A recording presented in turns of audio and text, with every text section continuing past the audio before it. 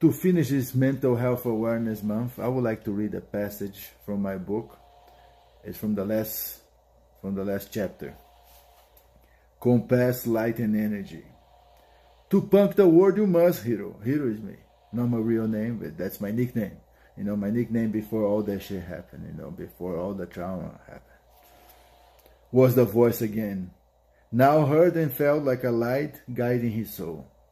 Punkaste Philosophy, chapter 18, verse 9. Now, if you ever, if you ever get the book, you know, the real book, you know, paper copy, uh, check this out. Every chapter there is a QR code here, you know. To scan it, will take you to a playlist. Yeah. Because if you're gonna do philosophy, you do it right, right?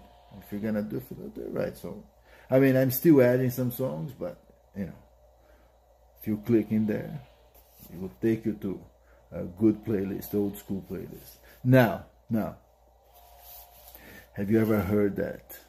Have you ever heard that quote? You know, that the guy asked the physician, you know, what's the best medicine for humans? And then the guy says love. And then the guy asks like, what if it doesn't work? You increase the dosage. Well, I'm a kind of the example of that, you know, like rock and roll is love, you know. And I started with the guitar, you know, I started guitar, and then I kind of fix a few things here and there, you know.